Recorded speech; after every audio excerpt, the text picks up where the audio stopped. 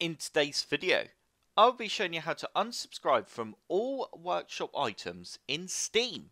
If you have subscribed to lots of different workshop items like game modes, mods, weapon customizations, and stuff like that for lots of different games, then you might have a big list of different workshop items.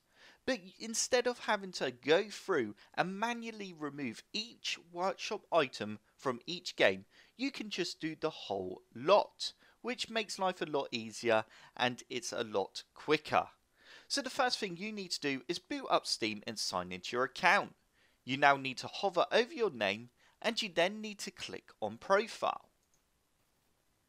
You now need to click on workshop items on the right hand side here and you now need to click on subscribed items.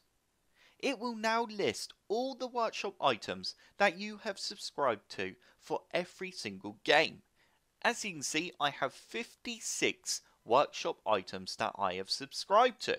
So if I now want to remove all the mods and customization and whatever else I have subscribed to, all I need to do is click on this button here that says unsubscribe from all. You then need to press OK and it will now remove all the workshop items from Steam. And there we go. That is how you unsubscribe from everything in the workshop items.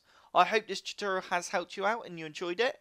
If it did, click the like button below and subscribe for more computer sluggish tutorials.